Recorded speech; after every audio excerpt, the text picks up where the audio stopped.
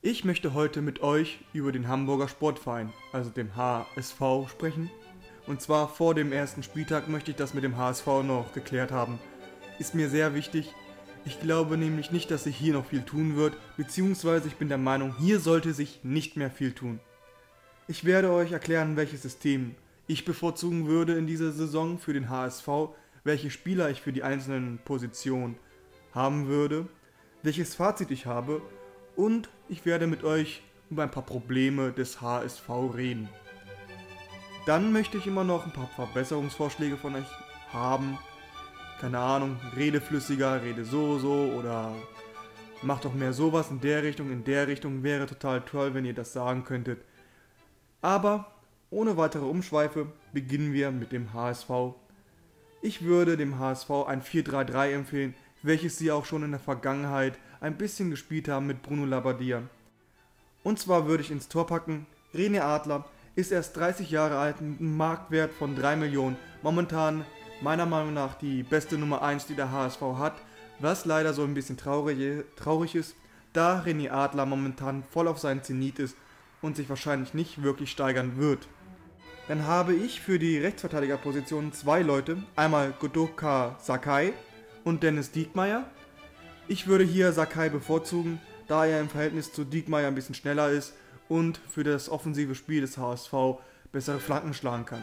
Dennis Diekmeyer hat ein besseres Stellungsspiel in der Verteidigung und ist ein bisschen zweikampfstärker, aber in dem Fall nehmen sich beide nicht viel. Sakai ist 24 Jahre alt und hat einen Marktwert von 2 Millionen.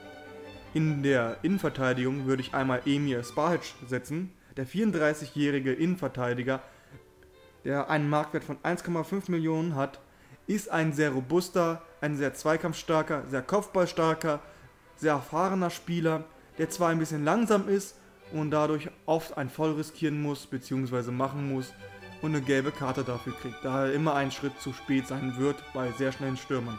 Der zweite Innenverteidiger im Bunde wäre Kleber Race, der 24 Jahre alte Innenverteidiger mit einem Marktwert von 2,5 Millionen ist leider sehr oft unkonzentriert, ist dafür aber sehr kopfballstark. Seine Zweikämpfe und Pässe sind nicht gerade die besten. Deswegen ist er für mich leider nicht gesetzt, wenn Giroud da ist. In der Linksverteidigung würde ich komplett auf Matthias Ostroscholik setzen. Der 25 Jahre alte Spieler ist auch 2,5 Millionen wert, aber er hat eine ganz große Stärke im Verhältnis zu vielen seiner Mannschaftskollegen. Er ist konstant. Das heißt, er wird nicht plötzlich schlechter, er wird nicht plötzlich stärker, aber dafür weiß man, was man hat. Und er ist definitiv momentan der beste Linksverteidiger, den der HSV hat. Dann ein Spieler, den ich nicht ganz so wirklich auf der Kette hatte, beziehungsweise wo ich mich gefragt habe, wie kriegt der HSV denn solche Spieler denn noch ran, nachdem zum Beispiel das mit Van der Vaart und Brami war. Albin Ekdal im defensiven Mittelfeld. 26 Jahre und 4,5 Millionen wert. Wie gesagt, ich kann nicht viel zu den Spielern sagen, aber so wie ich es gesehen habe in einer kleinen Zusammenfassung, was ich mir noch angeguckt habe, ist er ein sehr guter Passgeber und recht kopfballstark. Dann habe ich im zentralen Mittelfeld zwei Spieler. Einmal Marcelo Diaz, 28 Jahre alt, 2,5 Millionen Marktwert, ist ein sehr erfahrener Spieler und sehr konstant. Nicht ganz so konstant wie Ostro Scholek, aber dafür sehr pass passgenau und definitiv eine gute Bereicherung für den Verein, auch wenn er 28 Jahre alt ist. Denn es kommt nicht immer aufs Alter an, er wird die nächsten 2-3 Jahre dem HSV bestimmt gut dienen können, wenn der HSV denn vernünftig spielen möchte und mal ein bisschen an seinen Trainer, in diesem Fall Bruno Labbadia, halten würde. Dann haben wir noch Zoltan Stieber. Ja, ich weiß, der ist eigentlich ein Linksaußen, aber er kann auch zentral spielen und da würde ich ihn persönlich eher setzen. Der 26 Jahre alte Spieler ist 1,7 Millionen wert, hat einen sehr guten Antritt, damit kann er vielen Spielern im Mittelfeld die Bälle abfangen und dann gleich einen Konter einleiten oder schnell ins offensive Mittelfeld rennen und von hinten den Ball quasi mit einem Rückpass von den beiden Außenspielern ins Tor schießen. Dann haben wir zwei Außenspieler. Nikolai Müller ist 27 Jahre alt, hat einen Marktwert von 3 Millionen, ist schnell, hat sehr gute Flanken. Leider hat er einen schlechten Abschluss, verhältnismäßig für andere Offensivspieler. Dafür kann er dem HSV bestimmt mit seinen Vorlagen sehr gut dienen. Auf Linksaußen würde ich Louis Holtby packen. Der 24 Jahre alte Spieler für 4 Millionen beziehungsweise mit einem Marktwert von 4 Millionen. Ist sehr passsicher, hat zwar leider auch einen sehr schwachen Abschluss, aber dafür kann er die Bälle richtig gut verteilen, in den Rückraum spielen, nach vorne, auf den Stürmer oder halt zurück. Je nachdem, wie man spielen muss. Luis Holtby kann den Ball auch ein bisschen halten. Leider ist er von seiner Qualität her ein bisschen gesunken. Dann haben wir im Sturm auch zwei Optionen.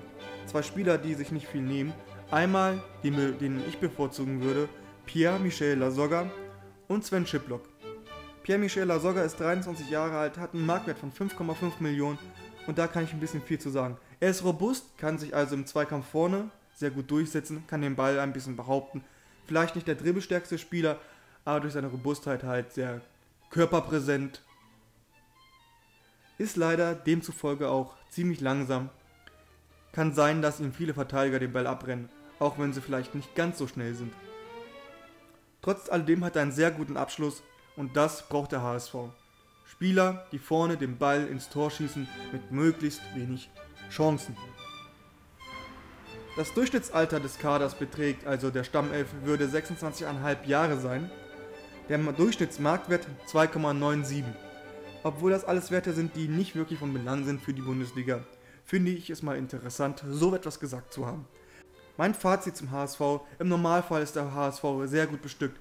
Mit so einer Mannschaft sollte man nicht um den Abstieg kämpfen. Es sollte eher so sein, dass der HSV vielleicht um Platz 14, 15 und 16 spielen sollte.